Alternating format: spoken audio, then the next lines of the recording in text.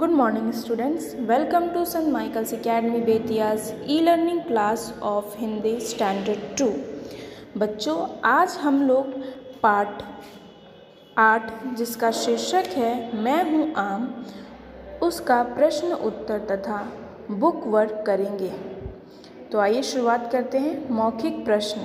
पहला, शोभित की माँ बाज़ार से क्या खरीद कर लाई थी? उत्तर, शोभित की माँ बाज़ार से आम खरीद कर लाई थी। दूसरा, शोभित ने किस चीज़ का सपना देखा? उत्तर, शोभित ने आम का सपना देखा। तीसरा, शोभित का सपना कब टूटा? उत्तर, माँ की आवाज़ सुनकर शोभित का सपना टूट गया। लिखित प्रश्न, पहला, आम देखकर शोभित प्रसन्न क्यों हुआ? उत्तर आम देखकर शोभित, इसलिए प्रसन्न हुआ क्योंकि आम शोभित का पसंदीदा फल है। दूसरा, माँ ने शोभित को कितने आम दिए? उत्तर, माँ ने शोभित को दो आम दिए।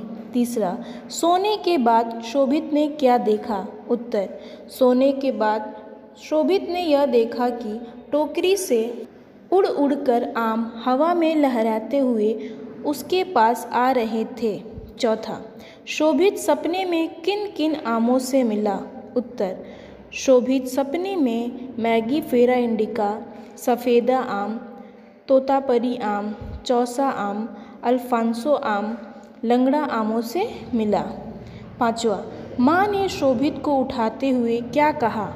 उत्तर, माँ ने शोभित को उठाते हुए यह कहा कि जल्दी उठो, स्कूल नहीं जाना है क्या?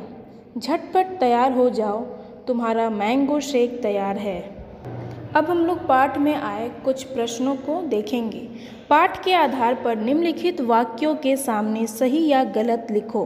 पहला, आम का असली नाम मैगी फेरा इंडिका है। उत्तर, सही। दूसरा, लंगड़ा आम सबसे पहले लखनऊ में पैदा हुआ था। उत्तर, गलत। तीसरा, दशहरी आम सबसे पहले मलिहाबाद में पैदा हुआ था। उत्तर, सही। चौथा, माँ ने शोभित के लिए मैंगो शेक बनाया था। उत्तर, सही। पांचवा, तोतापरी और अल्फांसो आमो के नाम हैं।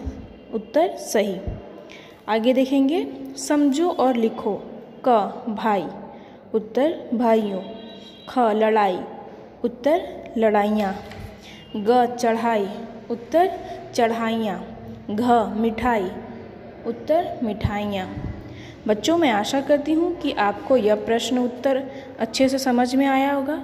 तो आपका आज का गृह कार्य है कि प्रश्नों को, प्रश्न उत्तर को अपने उत्तर पुस्तिका में और पेज नंबर पचास और इक्यावन अपने बुक में करेंगे। धन्यवाद।